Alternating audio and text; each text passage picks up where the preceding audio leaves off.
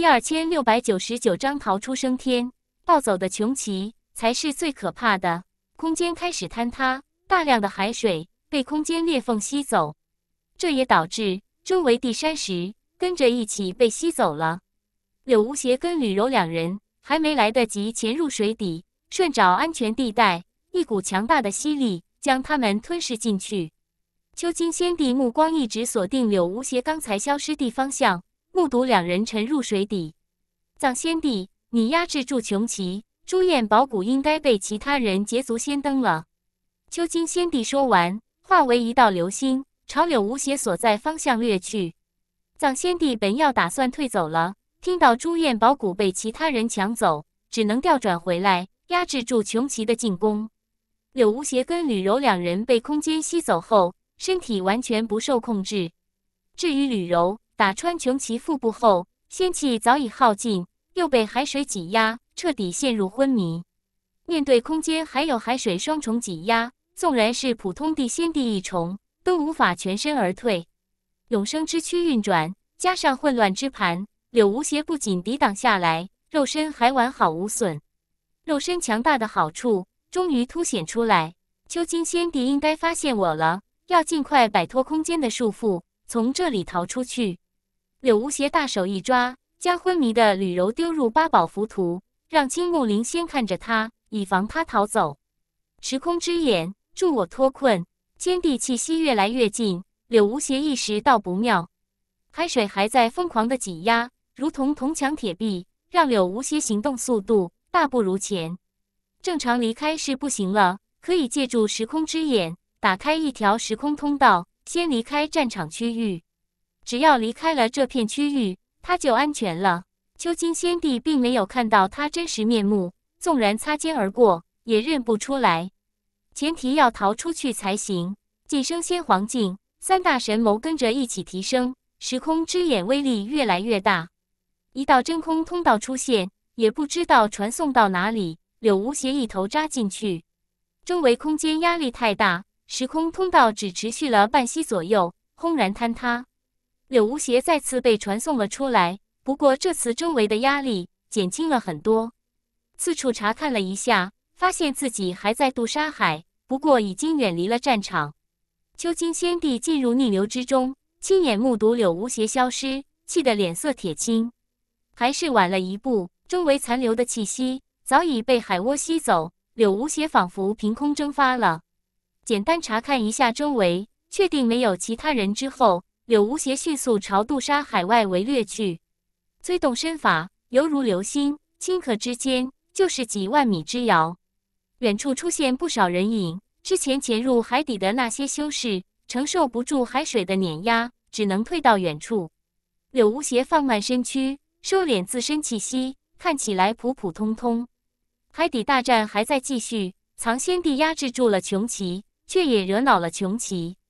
秋金仙帝，我压制不住了。藏仙帝不过仙帝二重，面对如此庞然大物，能压制这么久，已经是极限。秋金仙帝一晃回到了战场，朱燕宝骨已经被人带出去了，我们撤。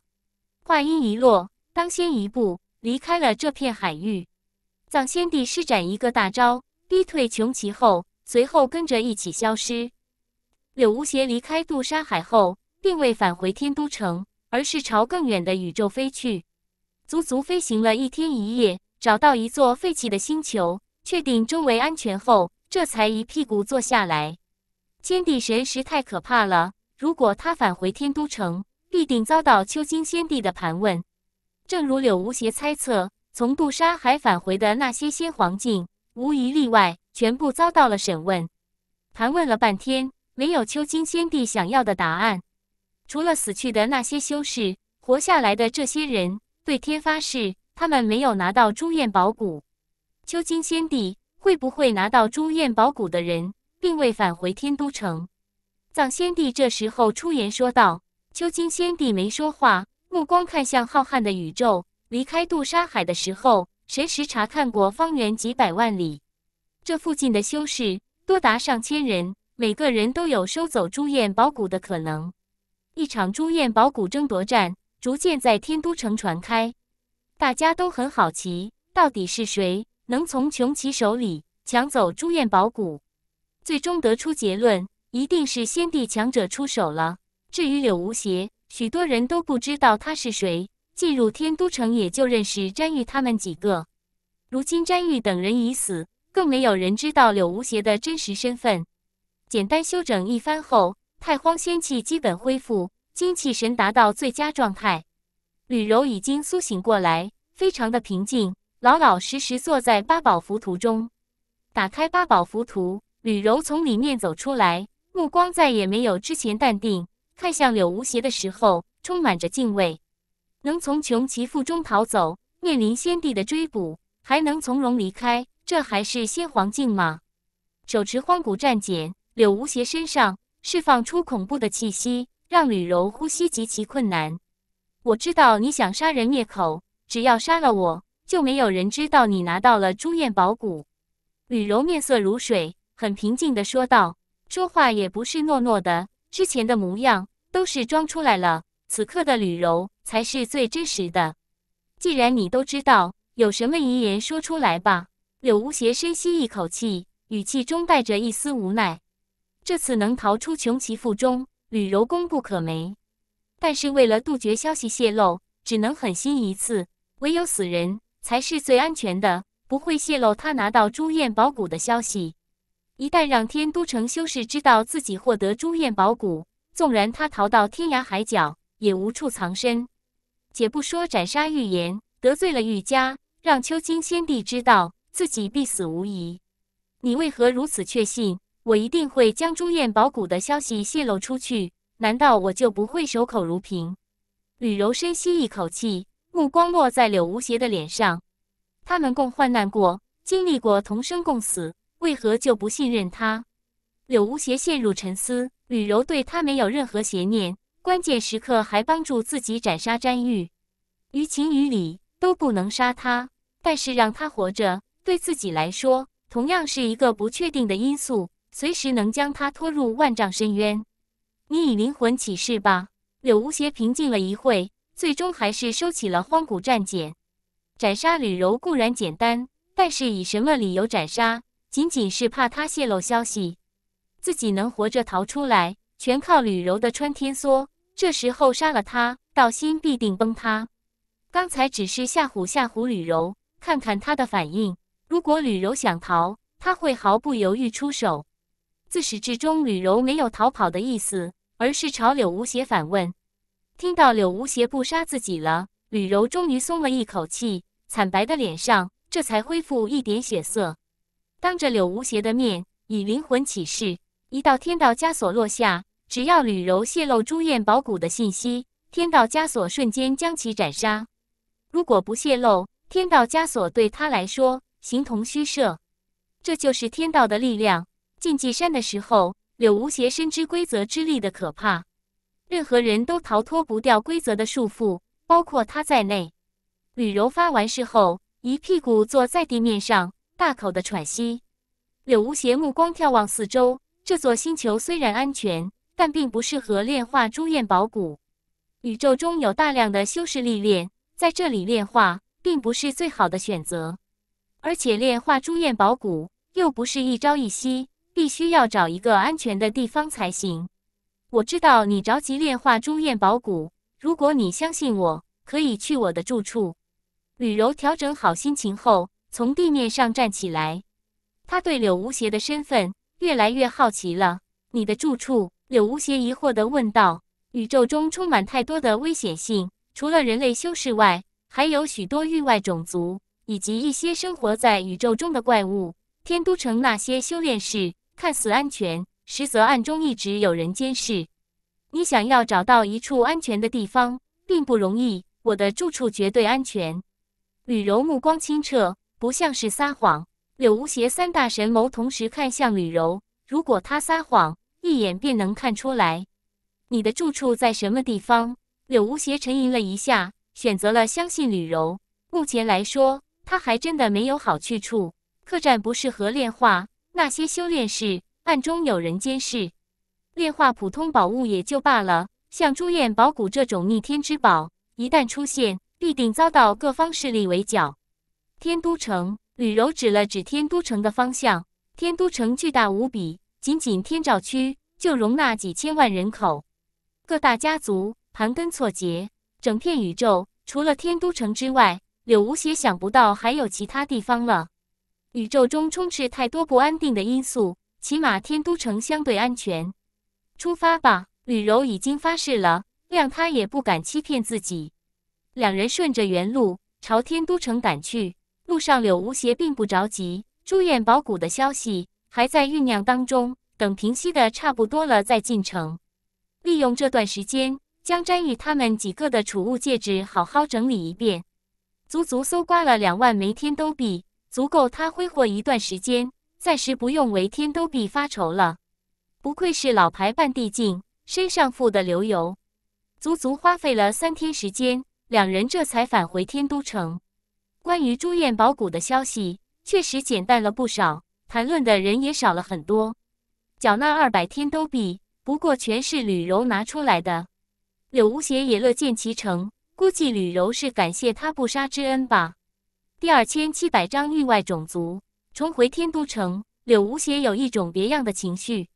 街道要比之前热闹了很多，一部分是受到朱燕宝谷的影响，不少太古家族派高手前来查看。第二是为了太阳神花而来，吕姑娘，你之前说宇宙中还有域外种族是怎么回事？在废弃的星球上，吕柔跟他提及过，宇宙中除了大量地修士之外，还有一些天地怪兽以及域外种族。难道除了三千世界外，域外还有种族？吕柔怪异的看了一眼柳无邪，按照他的理解，柳无邪绝对出生于太古家族，而且地位极高。如此之高的地位，竟然不知道域外种族。不过吕柔也没多想，毕竟不是每个人都是全才。柳无邪战斗力彪悍，不代表他的知识储备也很厉害。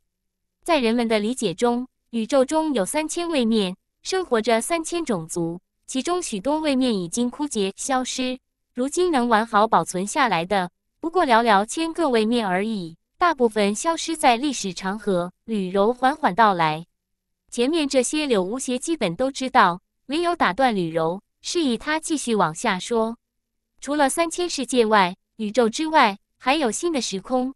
迄今为止，人类所探索的面积极其有限，对域外时空一些事情也是一知半解。不过几万年前，人类发现一些不知名的生物出现在三千世界，他们每间隔万年左右都会来掠夺一部分种族离开。这些域外种族极其神秘，来无影，去无踪，人类很难防范。吕柔将知道的信息全部道出。他们为何要掠夺三千种族？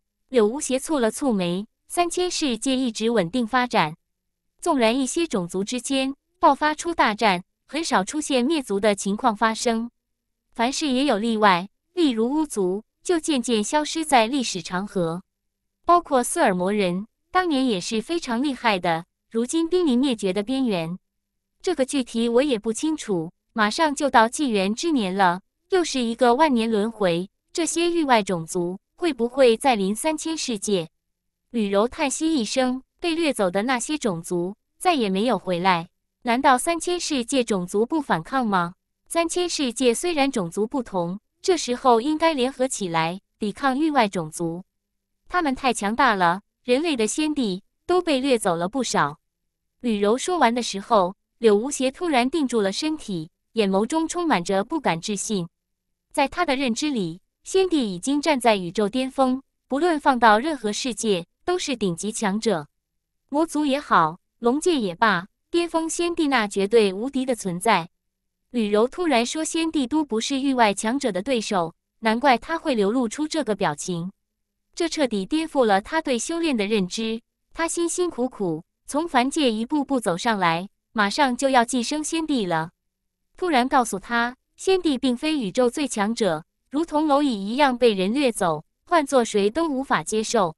不过你也不用担心，域外种族如果真要灭绝我们三千世界，也不会等到现在。他们来也匆匆，去也匆匆，不会影响我们的。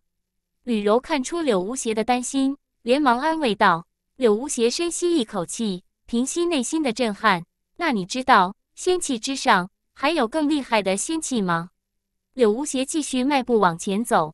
天地之上是炼神境，他已经知道，但是仙气之上是什么，暂且还不知。从禁忌山带出来的镇魂印，绝对是超越仙帝气的存在。包括奇美拉怪兽后背上的那块硬物，也是超越仙帝气的存在。至于叫什么，我也不知道。我们都称之为超仙气。吕柔耸了耸肩，家族有过这方面的解释。超越仙气的，统统称之为超仙气。不知不觉，两人走进了天照区。从吕柔口中，柳无邪了解了太多的信息。这些信息对他来说非常重要。看来我手里的镇魂印应该就是超仙器，包括朱雀三杀式已经超越了普通仙术。柳无邪暗暗说道。穿过一条条街道，这片区域柳无邪还没来过。根据他脑海中的记忆，这片区域早已被许多太古家族占据。能住在这里，绝对是宇宙中的霸主。纵然是碧瑶宫，都没有资格在此地驻扎。就在前面了，吕柔指了指前面，加快了脚步，紧跟吕柔。两人很快站在一座精致的院子外面。这座院子价值不菲吧？能买得起如此大的院落，起码需要好几万天都币。还可以吧？这些年我积累了一些财富，就在这里安定下来了。吕柔没有过多解释，自始至终没有说出他具体身份。两人都很聪明，不打听对来的来历。拿出特殊的钥匙，打开院门，一股浓烈的香气扑面而来。院子里面竟然种植了许多罕见的太古植物，其中几株植物，柳无邪清晰的记得，仙界早已灭绝。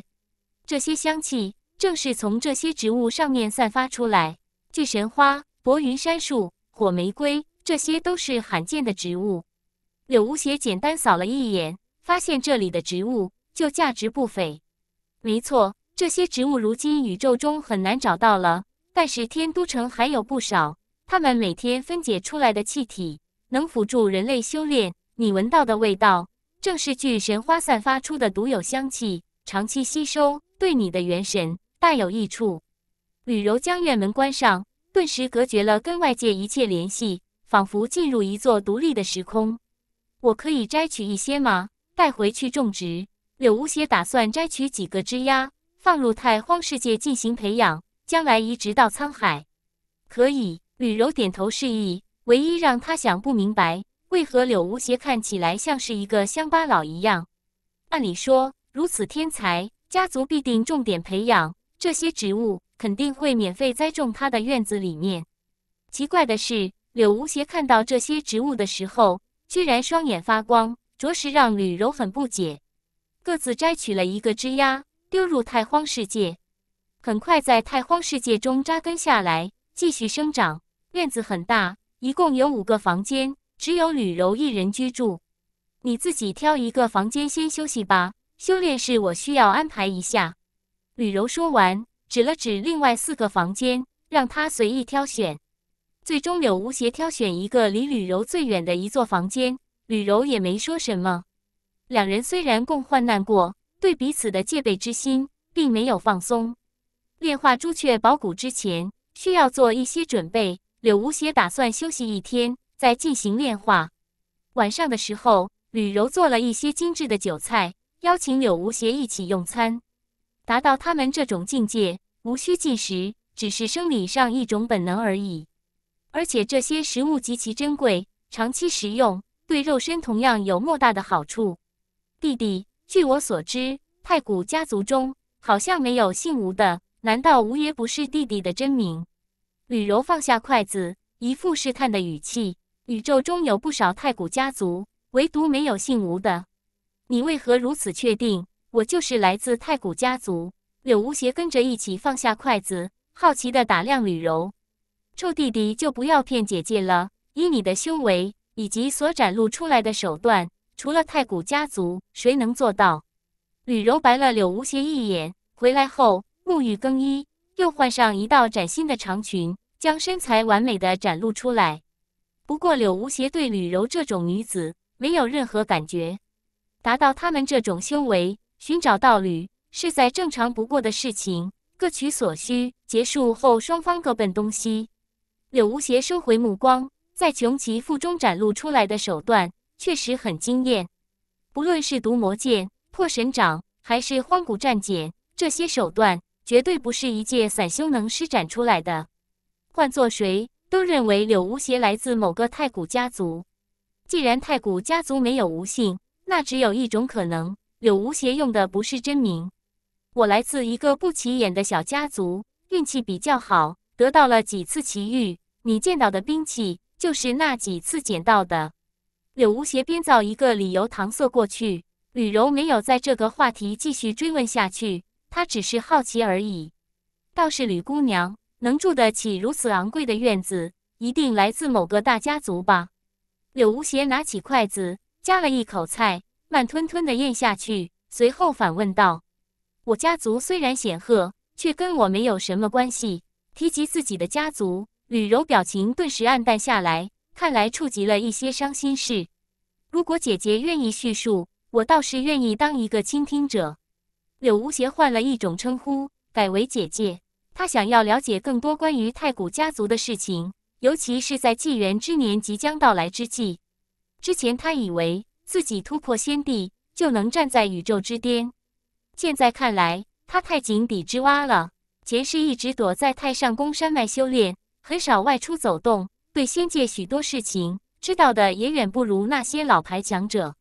今世的道路跟前世完全不同，他要守护自己的家人，守护自己的朋友。唯有不断变强，才能守护妻儿父母，守护亲人朋友。也没什么，就是跟家族发展的一些理念出现了冲突，就搬出来住了。仅此而已。吕柔似乎不愿意提及过往，接下来气氛比较沉闷，两人一直喝着闷酒。修炼室已经为你准备好了，你打算什么时候进去修炼？酒过三巡后，吕柔站起来，双眼迷离，身体摇摇欲坠，朝柳无邪问道。